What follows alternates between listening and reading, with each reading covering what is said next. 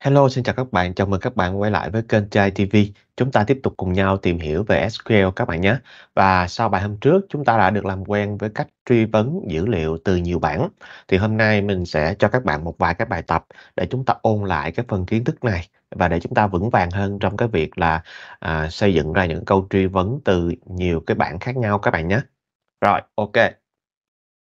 Cái à, cơ sở dữ liệu mà chúng ta làm việc á, thì nó vẫn là cơ sở dữ liệu Notewin và nếu như bạn nào chưa có cơ sở dữ liệu này để chúng ta thực hành thì các bạn xem lại cái bài số 3. Trong cái bài số 3 mình có hướng dẫn các bạn cái cách để chúng ta có thể chuẩn bị làm sao để có được cái cơ sở dữ liệu này. À, đây là cơ sở dữ liệu do Microsoft họ à, xây dựng ra và họ cung cấp cho người học à, một cái cách nhìn rất là tốt khi mà học về SQL Server các bạn nhé. Rồi, ok, bây giờ chúng ta sẽ đi vào những cái bài tập nè. Cái bài tập số 1 á, thì chúng ta sẽ đi từ ba cái bảng. Các bạn thấy trên màn hình nó có ba cái bảng đúng không ạ? Bảng Supplier, bảng Products và bảng Categories. Thì Supplier là những cái nhà cung cấp. Thứ hai, Product là những cái à, sản phẩm nè. Và thứ ba là Categories. Bây giờ thì chúng ta sẽ quan tâm tới hai cái bảng đầu tiên. Đó là cái bảng Products và cái bảng Categories. Chúng ta sẽ tìm ra những cái sản phẩm nào thuộc danh mục là Seafood, là đồ hải sản đó các bạn. Ví dụ là mực tôm, cá gì nọ, thì đó là những cái món ăn hải sản, đúng không? Thì bây giờ chúng ta sẽ in ra cái mã thể loại, tên thể loại, mã sản phẩm và tên sản phẩm. Bây giờ các bạn nhìn vào cái bảng giúp mình nè, các bạn sẽ thấy nè, cái, à, cái bảng Product á, là cái nơi mà chúng ta cần phải đi tìm ra những cái sản phẩm, đúng không? Và tên sản phẩm. Nhưng mà trong cái bảng Product này thì nó chỉ chứa cái Category ID thôi, mà nó không có chứa cái Category Name. Có nghĩa là nó chỉ chứa được cái con số 1, 2, 3, 4 thôi, mà nó không có cái chữ seafood này. Nếu muốn có cái chữ seafood thì buộc các bạn phải đi vào trong cái bảng categories để các bạn lấy cái thằng categories name ra để mà chúng ta so sánh. Như vậy, lúc này chúng ta phải truy vấn ít nhất từ hai bảng. Bảng thứ nhất là bảng sản phẩm và bảng thứ hai là bảng thể loại. Ok nhé. Rồi bây giờ chúng ta sẽ mở cái thằng SSMS ra và chúng ta sẽ bắt đầu thực hành nhé. Thì cái bài này chắc chắn là chúng ta sẽ phải là có cái sự kết hợp từ nhiều bảng rồi đó. À, bây giờ các bạn có nhớ cái câu lệnh select của chúng ta không? From nè, rồi sau đó là where đúng không? Thì chắc chắn rằng trong cái bài này thì chúng ta sẽ lấy dữ liệu từ bảng nào? À, chắc chắn chúng ta sẽ phải lấy dữ liệu từ cái bảng là bảng categories rồi. Ok, các bạn sẽ nhìn giúp mình ha. Đâu rồi? Đây, mình kéo nó ra nhé. Và mình đặt tên nó là bảng C đi thì các bạn có thể là SC hoặc là các bạn đánh chữ C thôi nó vẫn hoạt động được ha nó vẫn là à, à, đặt tên cho cái bảng này. À, các bạn không có chữ S ở đây thì nó vẫn hoạt động được nhé rồi thứ hai là mình sẽ lấy từ cái gì? Từ cái thằng product này thì mình sẽ đặt cho cái thằng này nó là P. Theo đề bài thì người ta yêu cầu chúng ta lấy cái gì ra các bạn nha à, các bạn chờ mình chút xíu để mình copy cái đề bài qua bên đây để các bạn dễ xem hơn nè bỏ cái đề bài ở đây để cho các bạn dễ xem ha. Rồi, ok. Mình sẽ đánh dấu comment lại nhé. Người ta yêu cầu chúng ta sẽ lấy ra mã thể loại. Mã thể loại thì mình sẽ lấy C nè. Chấm. Các bạn sẽ tìm giúp mình C coi. À, que cái gì đó chỗ này thì từ từ tính sao ha. C chấm cái gì đây? Tạm thời mình bỏ cái chữ que này đi. Sẽ là C.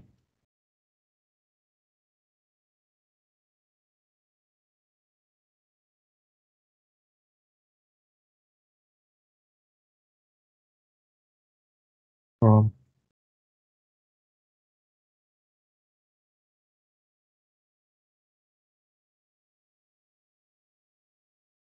Ừm, OK, rồi chúng ta chấm lại thử coi nó có hỗ trợ chúng ta tìm ra cái, à, Xin lỗi các bạn không biết tại sao nó bị lỗi cái chỗ nào vậy? Để mình incorrect syntax from chấm mình xóa hết ha. Mình đánh lại từ đầu ha. From rồi mình lấy từ cái bảng là bảng category ID ra, rồi mình đánh đây là C nè. Rồi, phẩy một cái nha. Ở đây là cái bảng product. Mình đánh là P. OK. Thằng C này đây, bây giờ nó hỗ trợ rồi nè, các bạn nhấn cái phím Control khoảng trắng á, thì nó sẽ giúp cho chúng ta có thể là, à, th từ thằng C chúng ta có thể lấy ra được cái, a cái category name rất là nhanh, hay hay là ID nó rất là nhanh. Rồi các bạn sẽ lấy từ cái bảng sản phẩm chúng ta sẽ lấy cái gì? Mã sản phẩm nha. Mã sản phẩm là product ID nè và thứ hai là à, product name. Đó, chúng ta sẽ lấy bốn cái này ra. Và tất nhiên ở đây thì các bạn phải làm gì? Các bạn phải có điều kiện đúng không? Thì hôm trước chúng ta đã học rồi, đúng không? C chấm cái gì? Category ID này nó phải bằng với tức là cái điểm chung giữa hai cái table này là gì? Thì chúng ta cần phải kết hợp hai cái thằng đó lại với nhau và nó phải bằng nhau nhé. Thì đây là B chấm category ID. Và thêm một cái điều kiện nữa là chúng ta cần phải lấy ra những cái sản phẩm thuộc cái danh mục là đồ hải sản thôi. À, chúng ta chỉ cần tìm những cái thằng nào đó là seafood thôi nhé Thì các bạn sẽ phải làm sao? Cái seafood này nó nằm đâu? Nó nằm ở trong cái bảng là bảng category ID. Chúng ta sẽ dựa trên cái name và ở đây chúng ta sẽ để nó là gì các bạn? Là seafood. Ok. Rồi, chấm phẩy nhé. Bây giờ mình và các bạn sẽ cùng nhau run thử cái đoạn code này. Các bạn thấy nè. SQL nhé. Các bạn thấy không? Đây. À, category, name, category ID chắc chắn là số 8 rồi. Name của nó là seafood rồi. À đây. Ikura, Konpu vân vân. Đó, tất cả những cái sản phẩm này nó là những cái sản phẩm thuộc cái danh mục là hải sản. À, thì sau này khi mà các bạn xây dựng ra những cái website á, chúng ta gặp cái tình huống này rất là nhiều.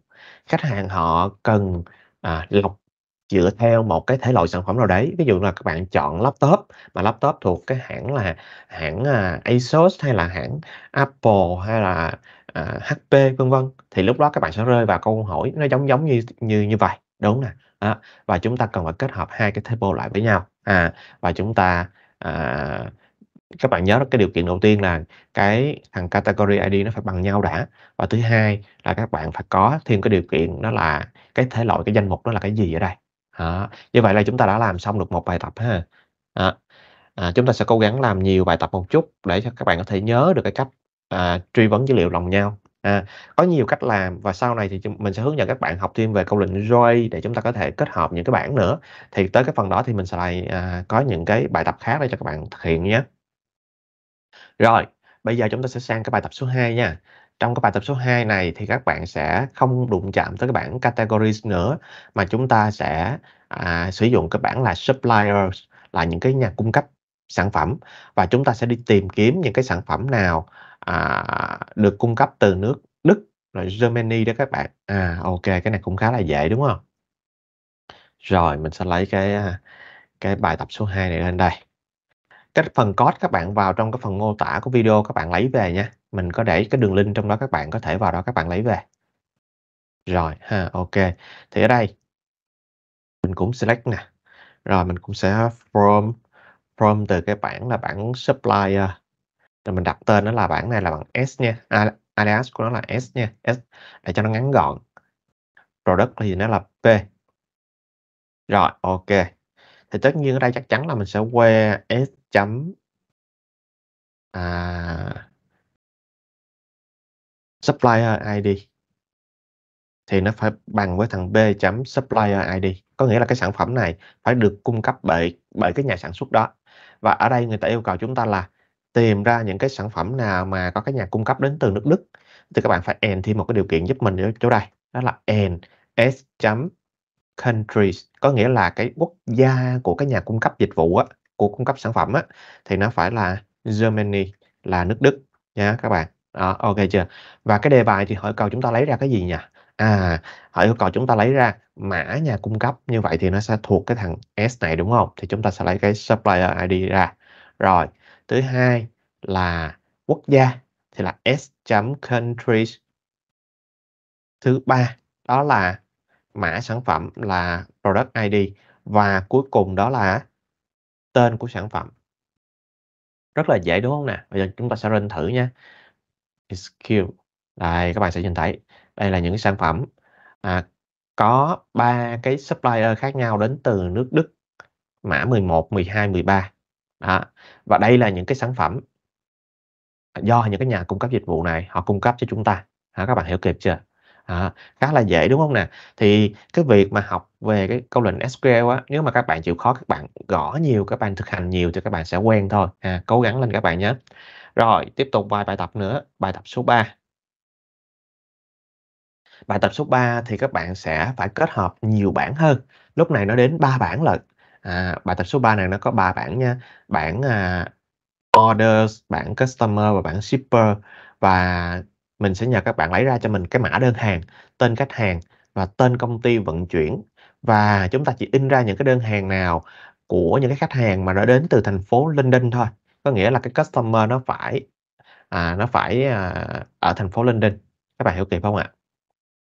Ở đây chúng ta phải lấy ra mã đơn hàng nè, tên khách hàng và tên công ty vận chuyển. Thì mã đơn hàng nó nằm ở cái table này. Còn cái tên khách hàng thì nó lại nằm ở đây. Và cái tên công công ty vận chuyển, ví dụ như là, à, à, Viettel hay là Bưu điện hay là gì gì đó thì nó lại nằm ở đây. Các bạn hiểu kịp không Như vậy thì, à, mỗi một cái dòng dữ liệu này nó thuộc một cái table khác nhau. Như vậy lúc này chúng ta phải kết hợp từ nhiều các bảng, từ nhiều cái table lại nhé. Rồi, ok. Bây giờ thì chúng ta sẽ cùng nhau làm cái bài tập này. Các bạn nào mà đã từng học á, mà về cái câu lệnh ROI á, thì, à, từ từ ha, trong những cái video clip sau mình cũng sẽ có nói về cái phần đó cho các bạn. Cái phần này thì coi như là chúng ta chưa biết gì cả và chúng ta đang học theo xin lỗi các bạn. Mình nhấn nhầm. Rồi, ok. Thì chúng ta cứ học, à, theo cái cách là chúng ta truy vấn đơn giản đã. Rồi thì tới cái phần rồi thì mình sẽ hướng dẫn các bạn kỹ càng hơn về phần đó nha. OK, chúng ta sẽ đi từ ba bảng nha. Bảng thứ nhất nè.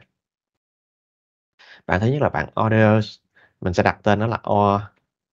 Rồi, bảng thứ hai là bảng Customer, thì mình sẽ đặt tên nó là C. Và cuối cùng nó là cái bảng gì các bạn? Bảng Shipper là cái nhà mà vận chuyển ấy, thì chúng ta sẽ đặt nó là S.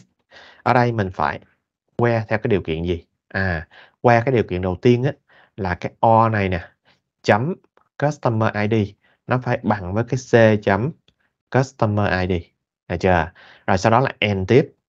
And cái O là cái bảng mà bảng bảng đơn hàng của chúng ta đó. Thì thực sự thì các bạn chỉ cần nhìn vào bên trong cái thằng, à, à cái thằng cái cái chỗ này nè, Customer ID này nó phải bằng với cái Customer ID này. Ở đây nó có một cái, à, một cái đường link để mà hiển thị cái mối quan hệ, đúng không? Đây là shipper nè, shipper ID thì ở đây nó là ship via. Đó, shipper ID lại là ship via nha các bạn. Các bạn thấy lúc này là cái tên cột nó khác đó đúng không? Đó, bây giờ các bạn O chấm ship via bằng với cái thằng là S chấm shipper ID. Các bạn thấy không? Hai cái cột này nó có chung ý nghĩa nha, nhưng mà tùy theo các bản nó có thể là nó thay đổi cái tên cột đi, nhưng mà về mặt ý nghĩa nó là giống nhau nha các bạn nha.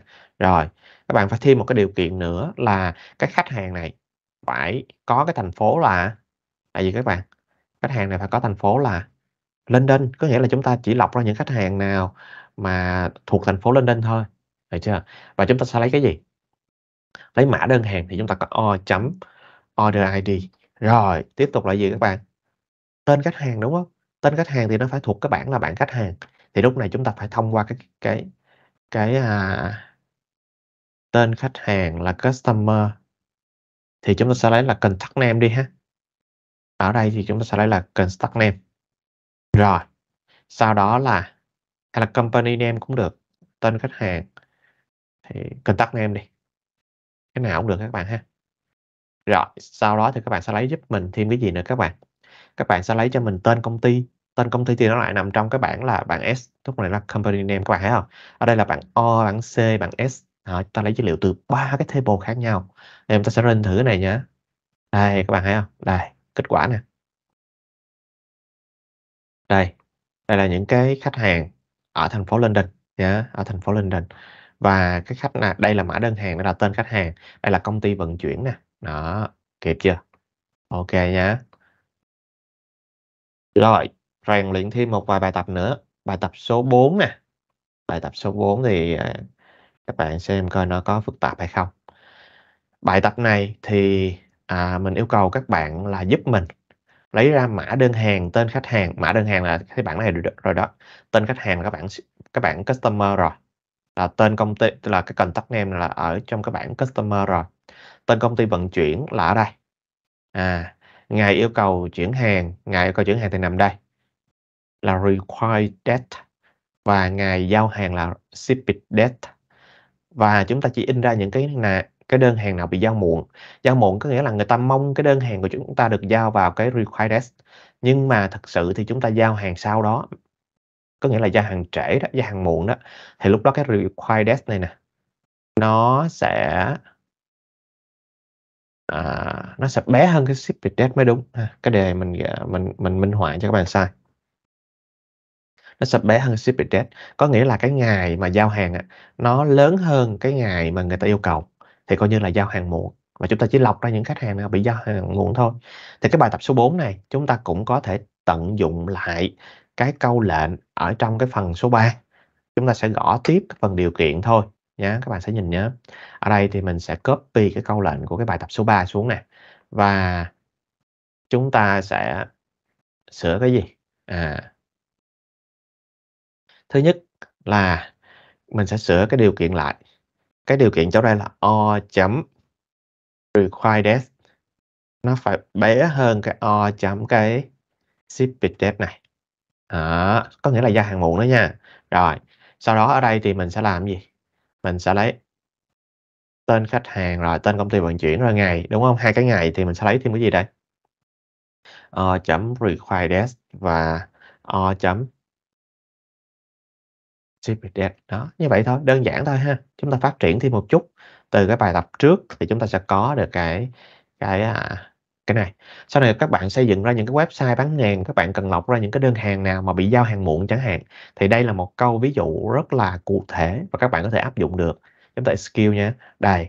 Các bạn nhìn thấy nè, người ta yêu cầu là giao hàng vào ngày à, 18 ngày 21 tây tháng 8 nhưng mà tới 23 tây tháng 8 mình mới giao được, có nghĩa là mình giao hàng muộn hơn. À, nó tương tự như là cái cái câu số à, cái câu số à, số 3 nhưng mà cái điều kiện ở đây nó thay đổi thôi. OK chưa? Rất là dễ đúng không nè? Rồi. À. Bây giờ thì mình sẽ cho các bạn một cái bài tập.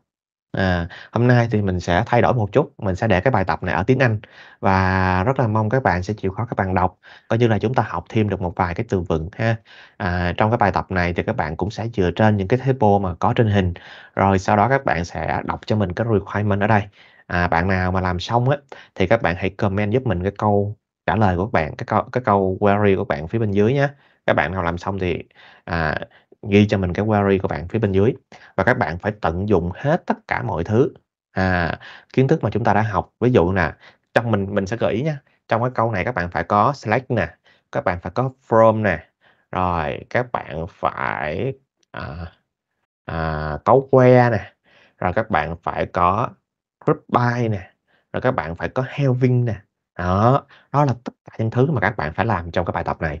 Và nếu như bạn nào giải được cái bài tập này thì mình công nhận rằng các bạn đã có cái sự tiến bộ rất lớn trong cái quá trình các bạn học cái phần SQL query à, và mình cho các bạn luôn kết quả. Kết quả của cái bài tập này đó là 122 là cái quốc gia đó là Germany. Còn ý nghĩa nó là gì thì thôi, mình sẽ không dịch, mình cố tình mình để cho các bạn à, à học thêm một chút về tiếng Anh ha và à, chịu khó à, tư duy một chút xíu, các bạn sẽ có được cái đáp án thôi. À, cố gắng nha các bạn, các bạn nhớ làm giúp mình cái bài tập này và comment xuống cho mình cái câu à, à, thêm cái nữa đi, tức là các bạn sẽ dịch cho mình câu hỏi nè. Và thứ hai là các bạn phải cho mình được câu query mà các bạn trả lời. Ngoài ra thì cũng thêm một cái thử thách nhỏ, đó là các bạn hãy cho mình một hoặc là hai câu hỏi liên quan tới cái việc là chúng ta truy vấn dữ liệu từ nhiều cái table khác nhau các bạn nhé. Và chúc các bạn học thật là tốt nha. Và cái chuỗi bài này thì nó còn à, khá là nhiều bài, rất là hy vọng các bạn sẽ kiên trì à, rèn luyện hàng ngày để chúng ta có cái khả năng làm việc tốt hơn với cơ sở dữ liệu. OK, rồi. À, nhớ đăng ký kênh nha các bạn. À, và hẹn gặp lại các bạn trong video clip sau nha. Xin chào.